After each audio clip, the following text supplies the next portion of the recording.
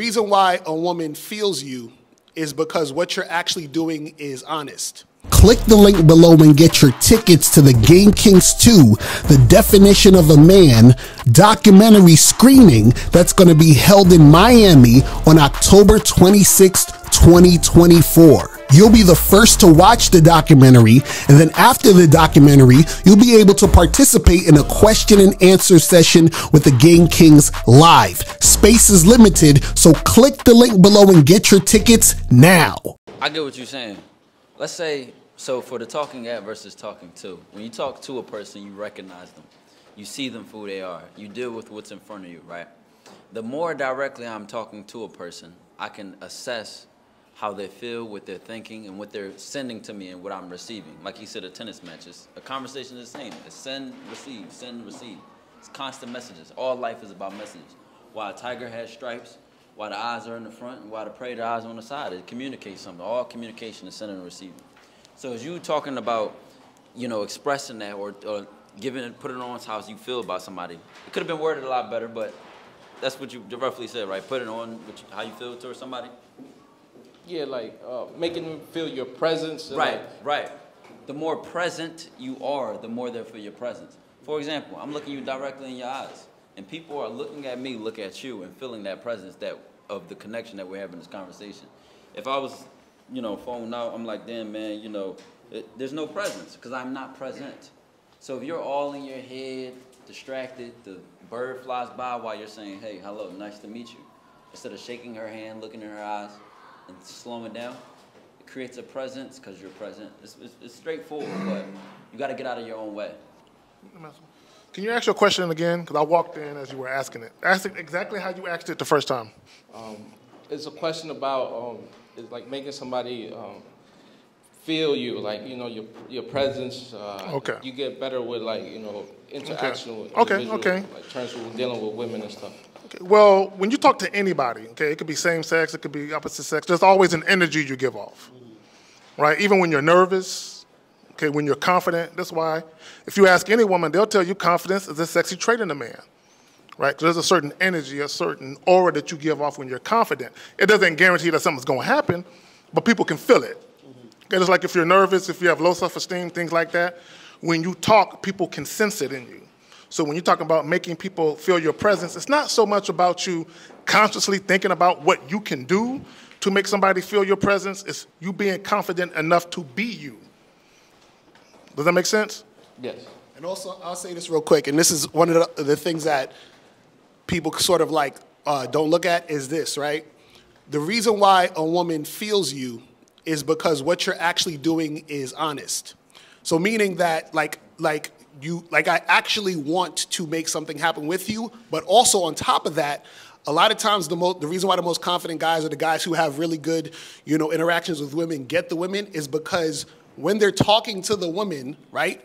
They actually believe they're going to get her. They actually believe she wants him. They actually believe it's going to go the way they expect in their head. You understand? So when they're talking to that woman, they want the woman and they expect it to go that way, then she feels that energy. Just like, for example, if you was walking down an alley and somebody came to you and put a gun to your chest and was like, give me your fucking money, and they was like really trying to get at you, you probably feel fear because you're like, oh shit, this motherfucker stepped to me, got the gun to me. Like he, he's not he not playing around.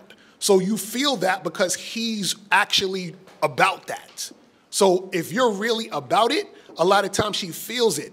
So most guys, even though they think they're about it, they're not really about it because most guys approach women with fear, not with confidence, not with being sure about themselves. So when you approach her with fear, then she not, you're not really about it because you're just talking with fear. You're just interacting with fear. You're just saying words and there's fear behind your words. So if there's honesty and there's real, you know, like actual like energy behind that, that's what makes the woman feel you. You see what I'm saying? I can take the dick off the table based upon my standard. You aren't gonna get hold of this dick if you ain't being the woman I need you to be. You need to realize that you need to cook, clean.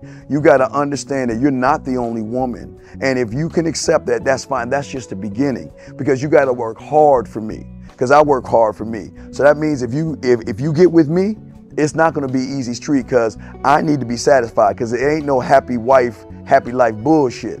It's happy Steve, happy Steve. Being strong with self, understanding who you are, um, is the that is the biggest defense to bitch ass weak men. And there's no excuses for the men not to be strong. But see, there's so many forces. And then so many men are embracing weakness.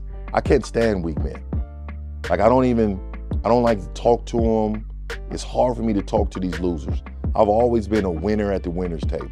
You know, I believe it's a sin to impregnate a woman who can't raise a child, you know, or impregnate a woman who's not fit to be a mother. And I think we have a responsibility in what we see today in these weak ass little feminine boys. I can't tell another man what to do, but I can't dress feminine. I can't wear nail polish. It's just something that I can't do. Why?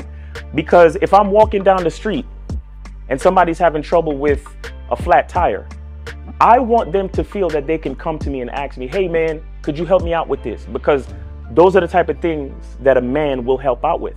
So I need to look like a man so they can know where to come for help. Yeah, it is such a thing as toxic masculinity in the minds of bitch ass motherfuckers. Talk about masculinity, assertiveness, authenticity, transparency.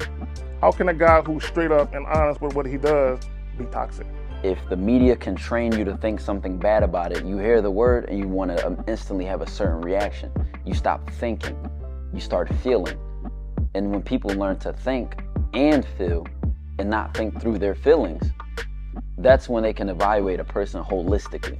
And they can say, is this toxic masculinity or did I just hear something I didn't like? And why did I not like it? And they only let me go within myself to see why. I don't never look at no motherfucker and say, oh, that's a toxic masculine motherfucker. I never ever had, I didn't even know. That was an invented concept from a weak motherfucker that was like, I'm just tired of this motherfucker trying to tell me what to do and bully you over me with this bullshit. What's to make you successful is just understanding who you are and getting your mind right and being happy with who you are. That is the thing that's to really make you successful. Because after you get all the toys, after you get all these things going on, you've had sex with all the women you want to have sex with, you traveled all the places, you're still to be you and you're to always come back to you.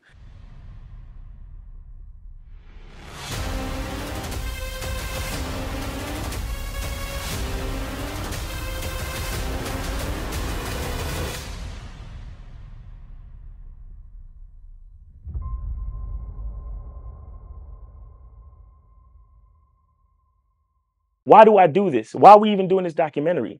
I'm trying to, I want guys to be in the best position possible. There's no way that I'm raising my voice or calling you a bitch ass nigga because I'm trying to hurt your feelings.